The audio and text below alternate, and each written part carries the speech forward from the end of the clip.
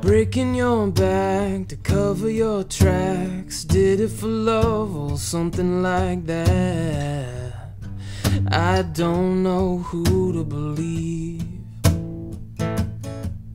In so many words, you try to explain how.